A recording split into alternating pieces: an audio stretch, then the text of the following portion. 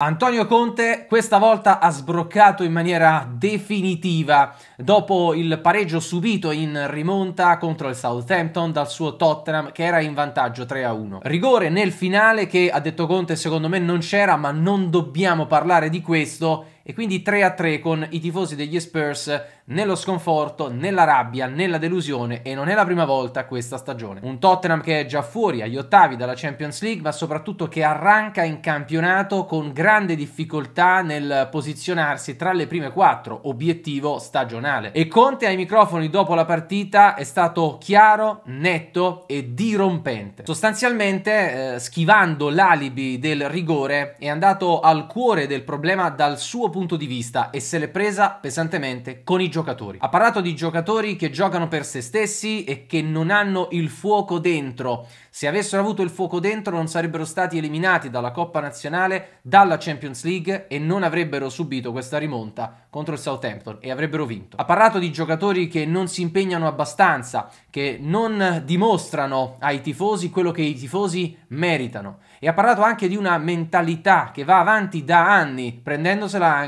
con la società. Ha detto se negli ultimi vent'anni con questa presidenza eh, si sono alternati tanti bravi allenatori, ma il Tottenham non ha mai vinto nulla, è colpa di chi ha gestito la società o di tutti questi allenatori. E ha parlato appunto di una mentalità radicata nel Tottenham, per cui non si gioca per il più alto livello. I giocatori preferiscono una zona di comfort in cui devono giocare senza troppe pressioni, senza troppi stress, puntando non al massimo, ma sostanzialmente a sopravvivere. E questo dice per me è inaccettabile, non mi è mai capitato nella mia carriera di avere giocatori così disinteressati così poco concentrati sui massimi obiettivi e appunto dediti a raggiungere obiettivi intermedi, come può essere la qualificazione all'Europa League. E dice: Se siamo questi, dove vogliamo andare in Champions League? Non ha senso parlare di Champions League. Possiamo essere settimi, addirittura decimi. E se l'è presa con i giornalisti che quando gli chiedono frequentemente nelle conferenze stampa e nelle interviste del suo contratto in scadenza a fine stagione, secondo lui offrono un alibi ai giocatori per impegnarsi ancora meno. Un Conte in rottura totale, quindi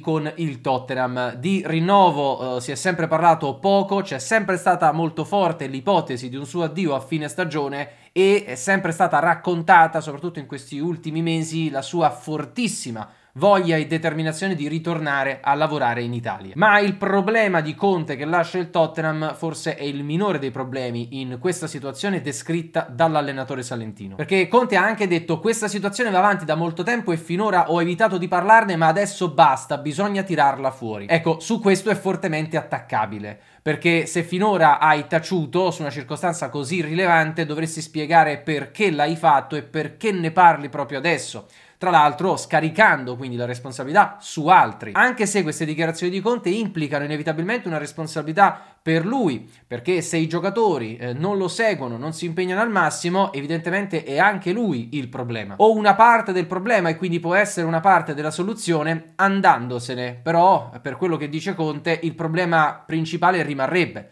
una società che non si assume la responsabilità di come ha eh, formato la squadra, ma anche a livello di mentalità e dei giocatori che non hanno la mentalità giusta per il Tottenham. Quindi una contraddizione eh, nelle parole di Conte si potrebbe facilmente trovare. Dice non parliamo dell'alibi del rigore che secondo me non c'era alla fine e non offrite alibi ai giocatori circa la mia scadenza contrattuale, poi però lui per quanto riguarda le sue responsabilità crea l'alibi dei giocatori che non hanno la mentalità giusta. Discutibile, quantomeno discutibile, questa esternazione polemica di Conte dopo il pareggio col Southampton. Ma il dibattito nella tifoseria degli Spurs è diversificato e direi molto serio e ben argomentato. Ci sono infatti tifosi che danno pienamente ragione a Conte e che dicono che finalmente è arrivato a dire quello che loro, tifosi, notavano e affermavano da anni circa i giocatori che non si impegnano abbastanza e si fa anche il nome di Kane che si spera che se ne vada per risanare anche un po' la squadra e cambiare un po' la marcia. Così come tra i tifosi ci sono quelli che nel dare ragione a Conte eh, se la prendono con la dirigenza. Infatti l'hashtag Levi Out eh, va avanti da molto tempo sui social eh, con alterne vicende ritrovando vigore di tanto in tanto. Poi ci sono anche quelli che scrivono Conte out, rivorrebbero Pocettino, vorrebbero comunque l'esonero di Conte e quindi gli danno la maggiore responsabilità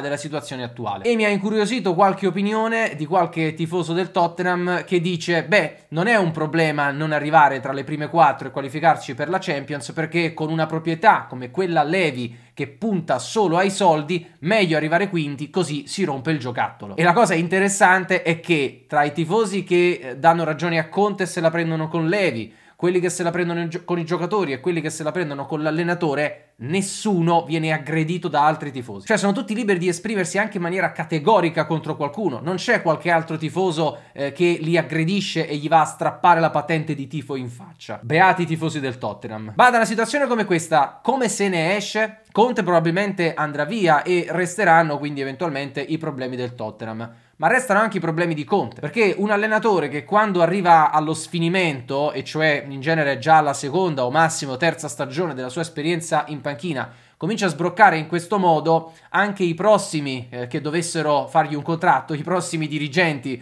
con cui dovrà lavorare sono avvisati. Che finisce sempre male, con Conte finisce sempre piuttosto male e questo inizia a essere un suo problema, un suo difetto, un suo limite, qualcosa su cui dovrebbe lavorare e che inizia ad essere veramente irritante. Come la pensate? C'è spazio per il dibattito sereno e rispettoso. Cerchiamo di applicare il modello tifoseria degli Spurs.